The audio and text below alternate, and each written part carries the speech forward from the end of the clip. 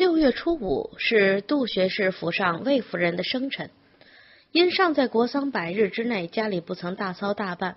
魏夫人正在待客之时，那边她最心腹的一位妈妈悄悄走了过来，说是杨宁侯府的三小姐和四少爷到了，是奉了太夫人的命前来拜寿的。闻听此言，魏夫人立时眉头一挑。按照亲戚之间兜兜转转的辈分，朱氏应该算他的表姑姑。可是撇开了这一层已经远的亲戚不提，早年间朱氏轻轻巧巧的帮过家里几次。就是姐姐和她先后出嫁之后，因为产业的事情也求过朱氏。再加上之前几日得过那边的消息，因而他立时吩咐长子杜生带着弟弟杜竹。亲自出去相迎，吉至人进了屋子，他端详着这一对姐弟，一时忍不住就看住了。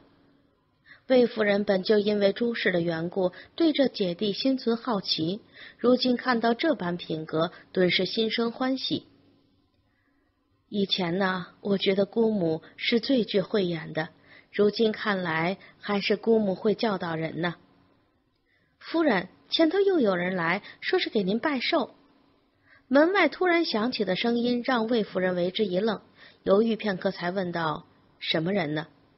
两个人说是老爷的学生来拜见师母。这话子说的，屋子里的一众人全都愣住了。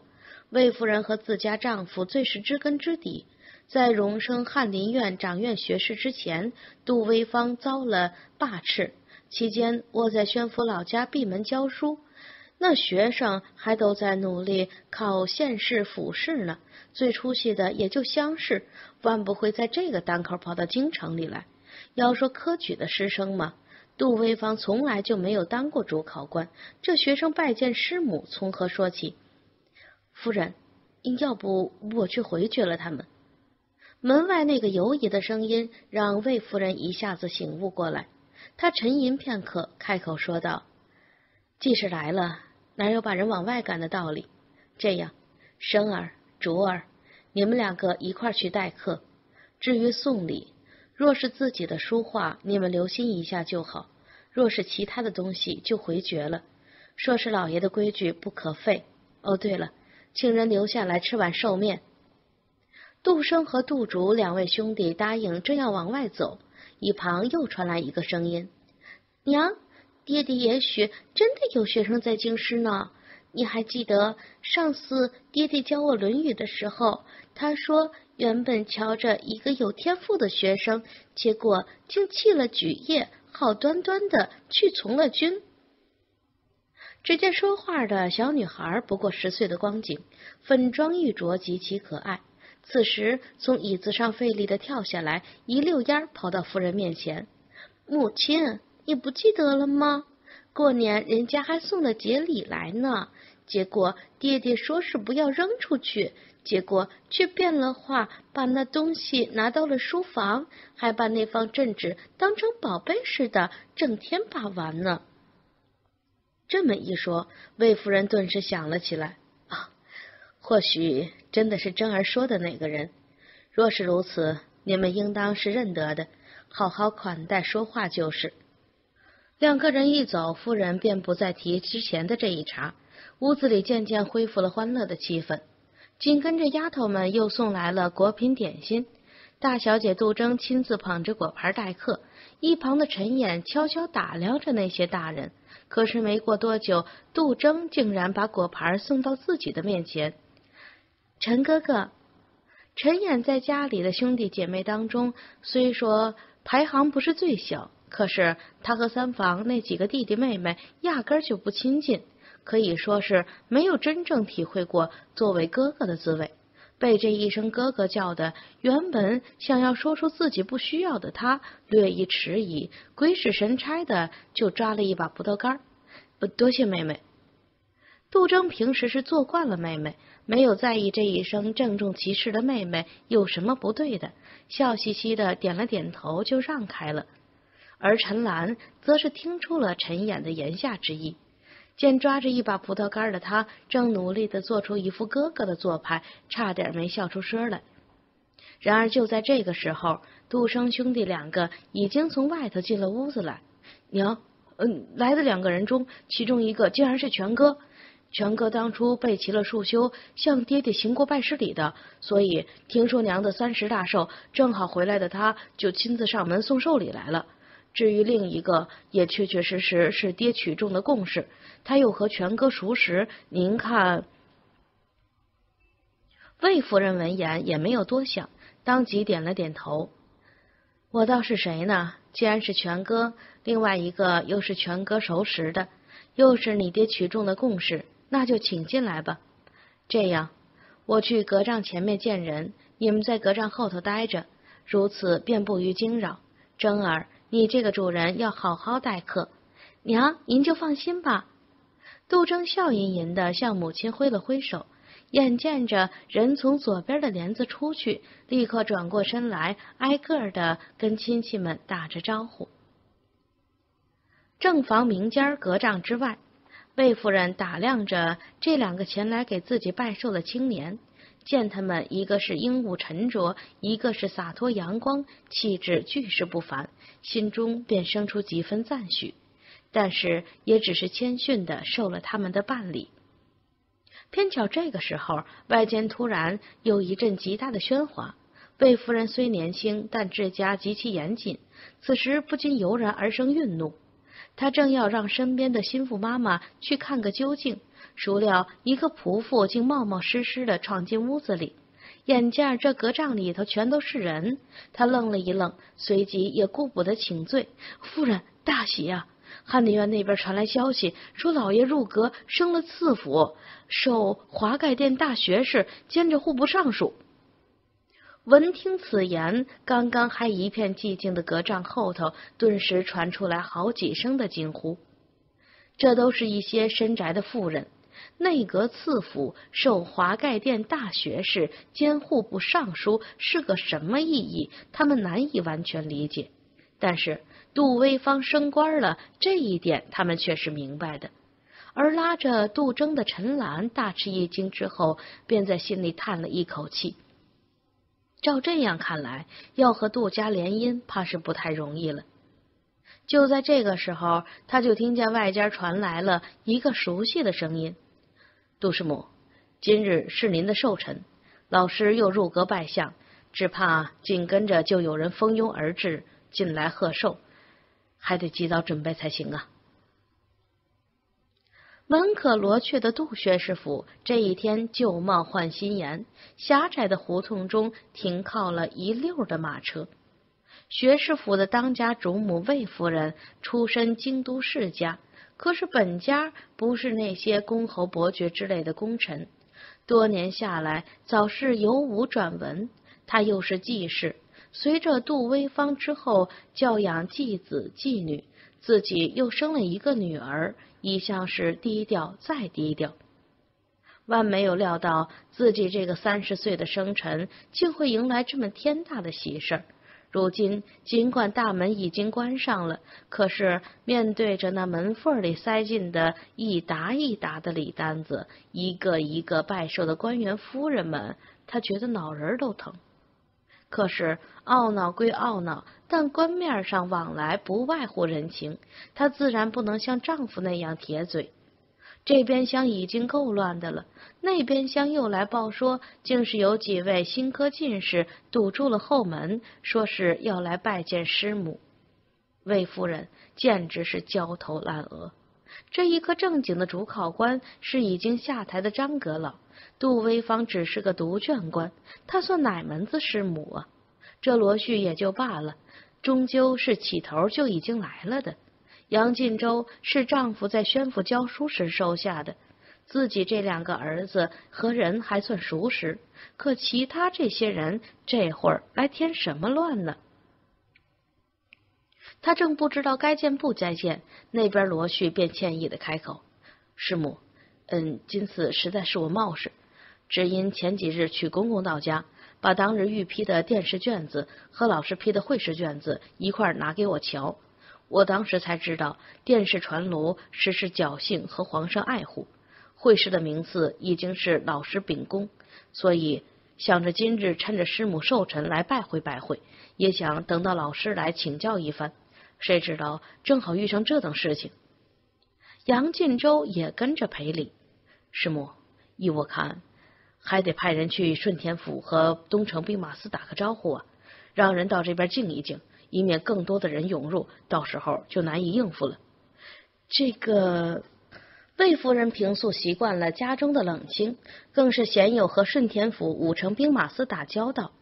此时一听这话，顿时有些迟疑。杨进州想到杜威芳回来之后，看到这乱糟糟一幕的情形，顿时苦笑：“师母啊，从前先生是翰林院的掌院学士，有些雅案无妨啊。如今一入阁就大发雷霆，把人往外赶，总有些说不过去吧？”罗旭正满心尴尬，听见杨进州说起东城兵马司和顺天府，他心中一动。师母，杨兄说的不错，那些权贵之家兴许不惧东城兵马司和顺天府，可是那些低品小官未必就愿意让这回送礼落在别人眼里。如今至少可以少些人的。想了又想，魏夫人终究还是按照他们的建议，派次子杜竹领着。小厮从侧门去了东城兵马司打招呼，让那边派人帮忙维持。可前脚人刚走，外间一个仆妇在门边禀报：“夫人，晋王府长史派人送礼来了。”魏夫人一下子就愣在那儿，伸手忍不住去揉太阳穴，可是两手指才一按，接踵而来的禀报声让她的手僵在了那里。怀王府长史派人送银丝寿面二十斤，寿桃三十颗，香木树珠四串，表里二十端。宋阁老府上，情之最担心的事情已经发生了。魏夫人深深的吸了一口气，一时之间头痛欲裂。隔帐后头的陈兰自然知道，这一刻的杜甫一下子就成了漩涡的中心。别说外间那些层出不穷的拜寿人了，就是这屋子里的女人孩子们，又有谁不是坐立不安的呢？征妹妹，平日里令尊在家的时候，三节两寿有没有收到这般礼呀？爹爹规矩大，又不常做学官，亲戚上门都只是随随便便带些寿面寿桃也就算了。至于翰林院那些大人们，多半是送些字画。其他人因为爹爹站在大门口，直接骂走了两次人，根本就没人敢来的。爹爹还有一次在门口挂了一副对联，嗯，反正是拒收礼的。那个时候我还小，具体是什么就不清楚了。这样下去，爹爹回来又要大发脾气。等他回来，兴许会直接把人骂走，把人家的东西扔出去。陈兰听说过杜威芳的方正，可没有想到这一位竟然还往大门口贴过这样的对联儿。然而，正是听到这一条，他便突然计上心来，连忙附身在杜征的耳边问道：“要是再这么下去，只怕你爹爹回来呀，已经晚了。”你爹的字迹，你模仿得来吗？杜征一下子就睁大了眼睛，聪明剔透的他哪里能不明白陈兰的意思呢？陈姐姐，莫非你要我学爹爹那般挂副对联出去吗？陈兰微微一笑，不止如此，你再对你娘说，让她把寿桃装上回礼盒子，如果不够了，就派人去登石胡同四宝斋买些盒子，吩咐他们华丽一些。那是我家的产业，你只要报上杨宁侯府，那边自然会挑上好的。待会儿把这些拿出去，送给那些前来送礼的，只说杜家家训在，夫人不敢到寺。这是寿辰之日，既大家登门，便一起沾沾喜气。至于对联嘛，你就亲自写上这么两句。一旁的陈岩本是竖着耳朵，因而听到这滴滴的声音。瞠目结舌的同时，又担忧起来：“姐，这么直白的东西挂大门口，会不会让大人太难做了？”陈哥哥，你放心，一点都不难做。杜征学着男子的样子，向陈兰抱拳作揖：“爹爹要是在呀，只会做得更出格。这样正好，我去对娘说。隔帐前头的魏夫人耳听得送礼来的权贵府邸越来越多，颇有些招架不住。结果杜征凑上来，低低对他这么一说，他顿时愣住了。想到杜威方到家大发雷霆的后果，他就不再犹疑。好，你快去后头写，家里的礼盒还够使，先拿出来再说。杜府门外的胡同已经差不多是水泄不通了。就在众人因为晋王府和怀王府先后派人来，纷纷交头接耳的时候，那两扇大门终于打开了。可是里面却是出来两个家丁，搬了梯子，在门廊两边忙碌了一阵子。众人见到原本杜甫的门帘，就换上了新的：“求升迁，请谋他路；欲送礼，莫入此门。”杜威方的性情，说的好听那是方正，说不好听就是乖张了。这一点，官场常客是都知道的。